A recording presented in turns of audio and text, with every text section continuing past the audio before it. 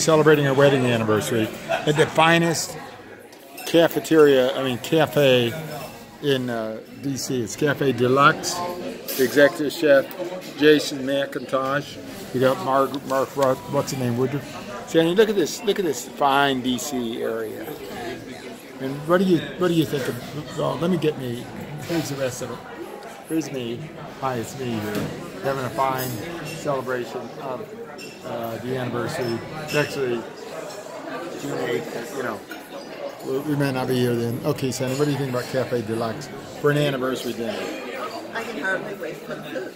What are you going to get? The cap CD burger? Yeah. CD. burger. Because it's Bill, are you going to get